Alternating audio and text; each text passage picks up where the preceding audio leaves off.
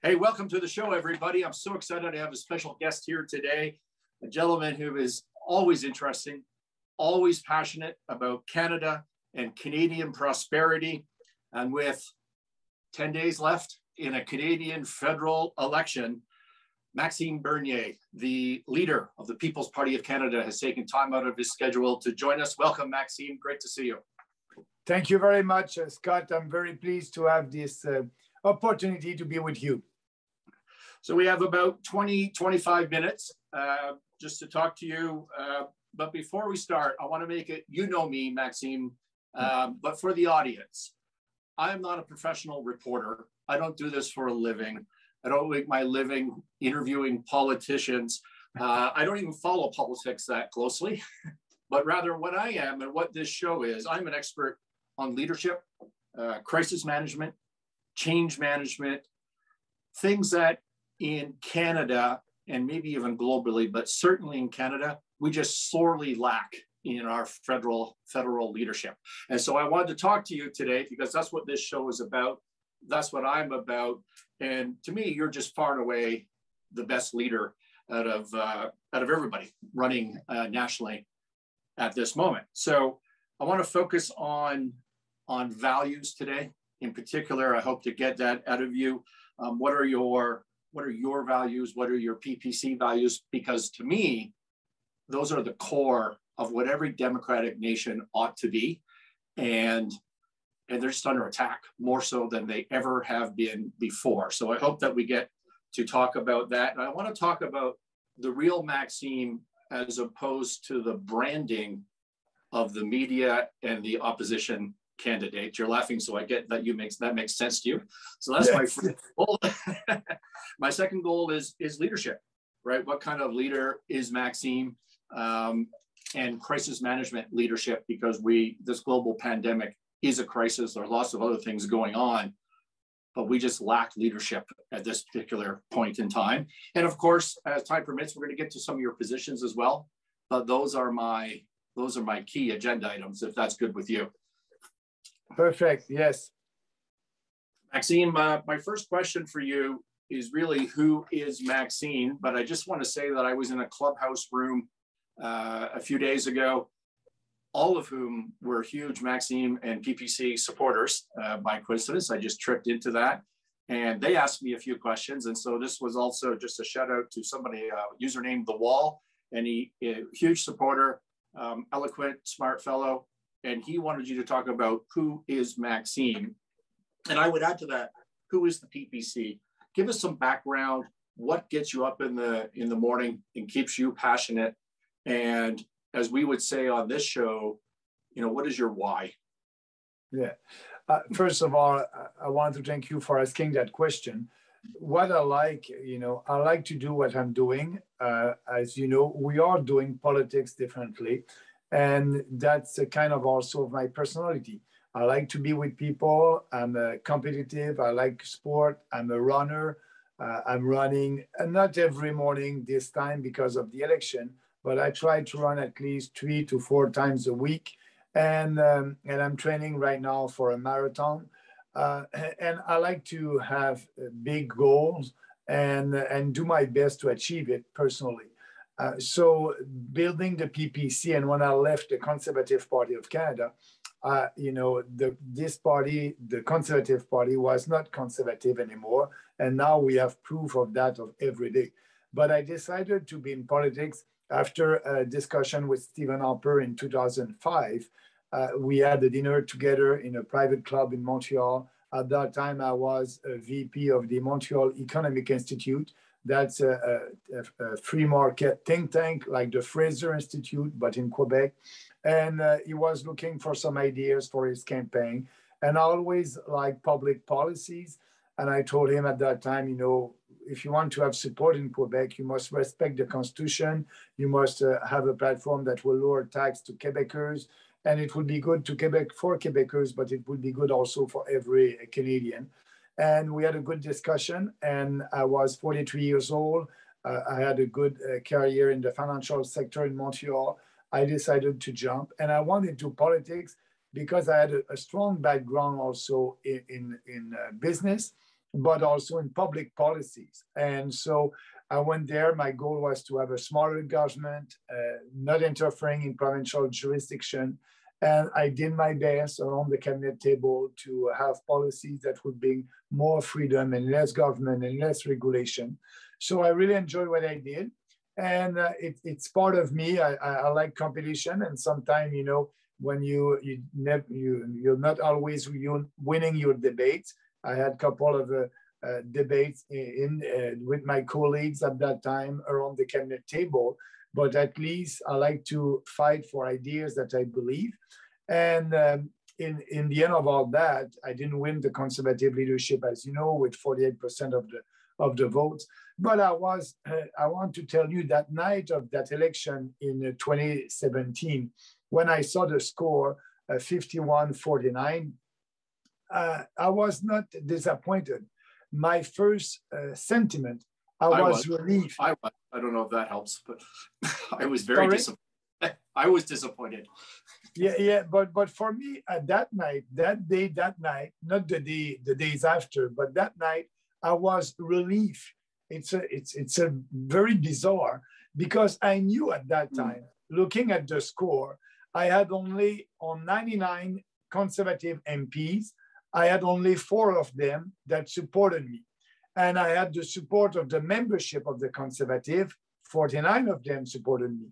But I knew at that time, winning 51 49, the margin is too thin. And I knew that my colleagues uh, were not in, on my side. So I knew that I, I would have to do some compromise with my ideas to be able to manage, to be able to stay the leader.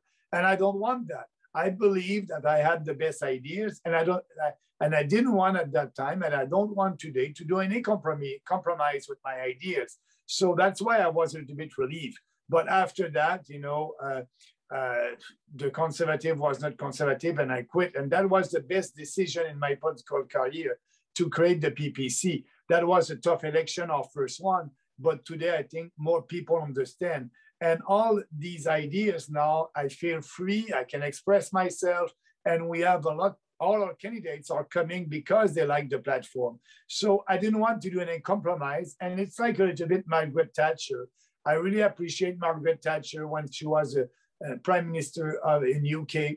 And uh, she was a real conservative. And at that time, when she was in the opposition, that was not popular but she spoke about what she believes with passion and conviction. And she was able to succeed and be a prime minister and implement real free market reforms. And after, when she quit politics, she did an interview and they were asking them, what, what did you not enjoy so much in politics? What did you didn't like with other politicians? And she said, you know, when you're uh, politicians and having meeting, it's all about compromise try to do some compromise yeah, to please right. everybody. And I didn't like that because when you do a compromise, uh, when you do a consensus, sorry, you try to have consensus with other politicians on different subjects. But when you achieve a consensus, you compromise with your ideas. And I don't want, I believe, and she said, I believe that I have the best ideas, and I don't want to do any compromise with my ideas. So, and it's a little bit me also. I don't want to do any compromise.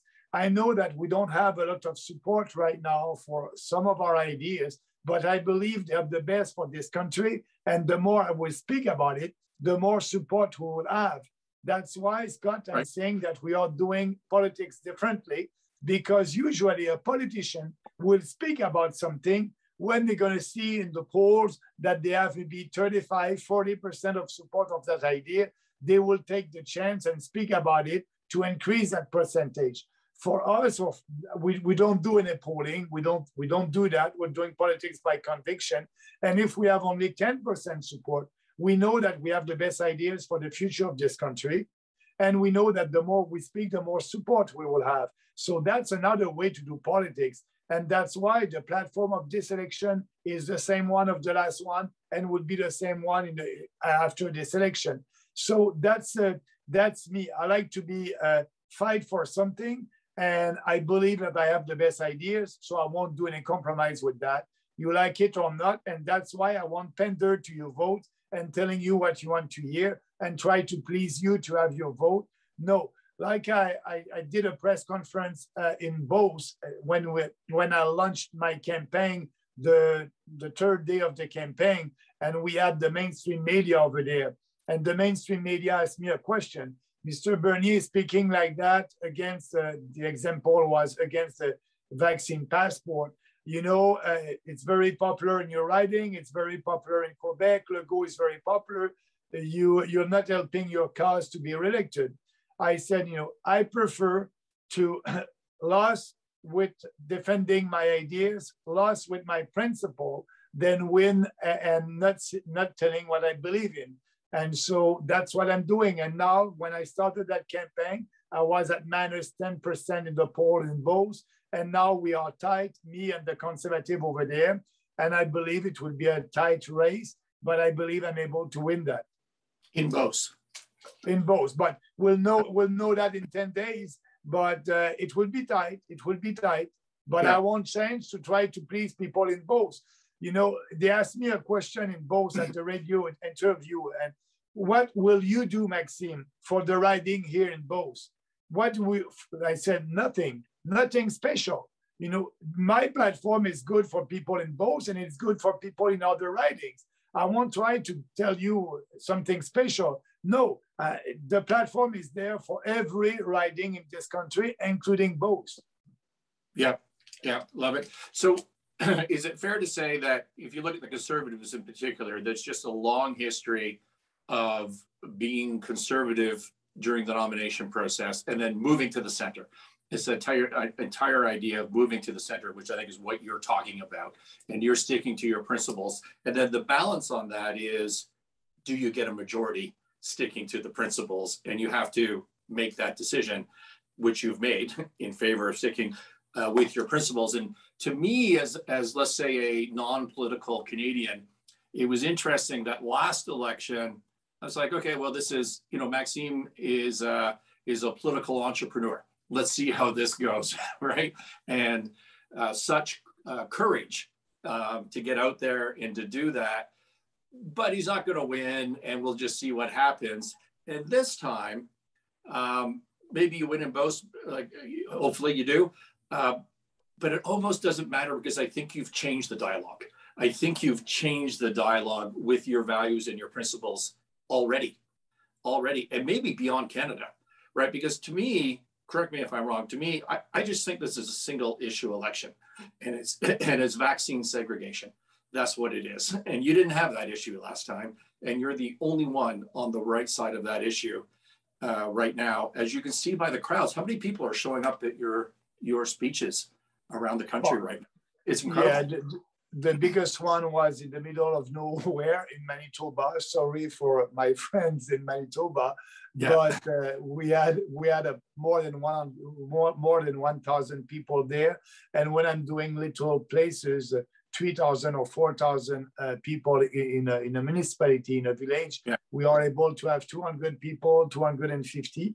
But you're right by saying that the Conservative Party moved to the center. That was at the last election. Now they're moving more to the, to the left because we are in the socialist era and their only goal is to be in government and they will be like the liberals because they have the same policies.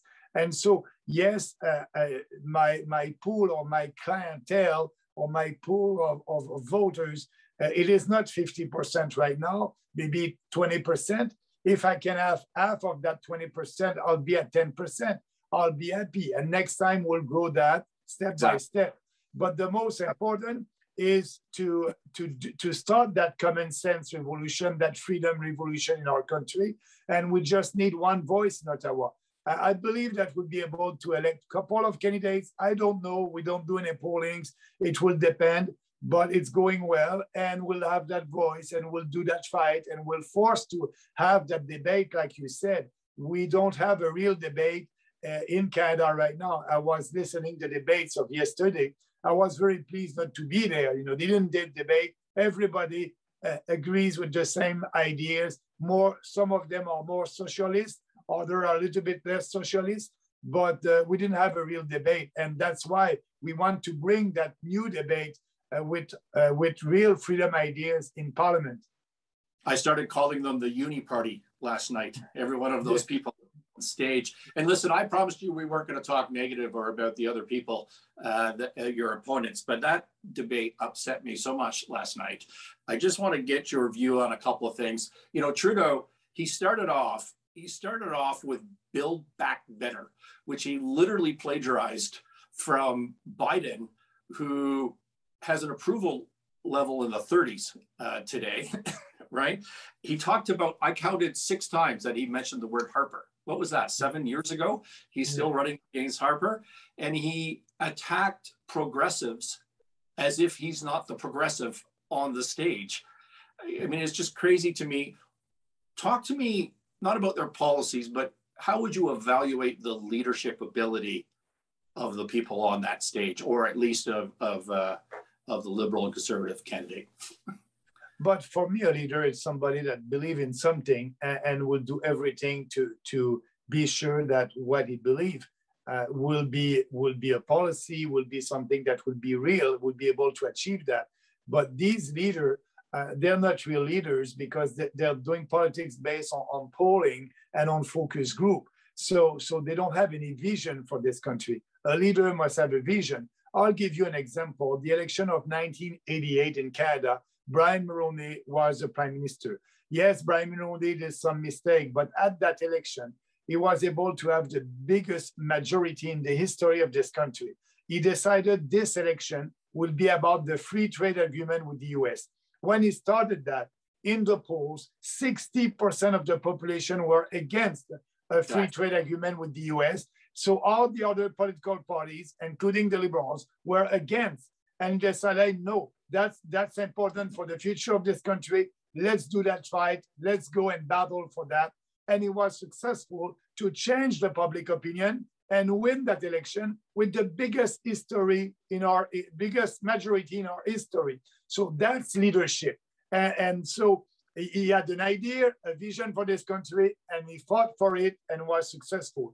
These leaders are doing politics based on polling. They don't have any vision. They will tell you what you want to hear, and I I I, I don't I don't see them as, as, leaders. Yeah, I agree.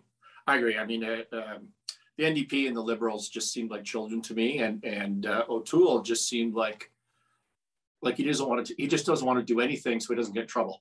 He's trying to not take a position at all. But you know, when he's saying that he will balance the budget in 10 years, and after that you ask question, how will you do it?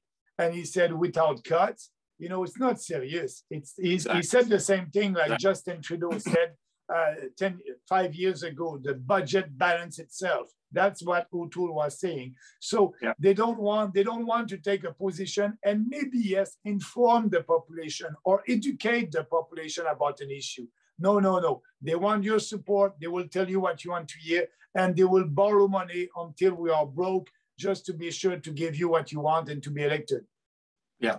Um, tell me, excuse me, tell me about Maxime Bernier as a leader, and maybe specifically jump into your four core values, which I think drive you as a leader. Yeah, you know, I'm coming from Beauce, and Beauce, it's a half rural, half urban uh, riding south of Quebec City and they're very entrepreneur over there. The entrepreneurship, a lot of small businesses there, uh, and entre- successful entrepreneur. Uh, all my friends uh, that I went in, in school with, they all they all started their business. They're successful entrepreneurs uh, in Beauce. And the best compliment that I can have, it's the compliment that you just told me in the beginning. You are a kind of an entrepreneur in politics, and for me, it's a nice compliment. And um, always, you know, always my dad taught me, you know, the, the good conservative principle, uh, fight for what you believe, uh, entrepreneurship, individual freedom, personal responsibility. Don't wait for the government or for anybody to save you. Work hard. And that's what I did. I was in the financial sector and I was VP of a financial institution at the end of my career. But I always fight for what I believe. And that's that's my my my blood that is coming from from that region of Canada that is very entrepreneurship.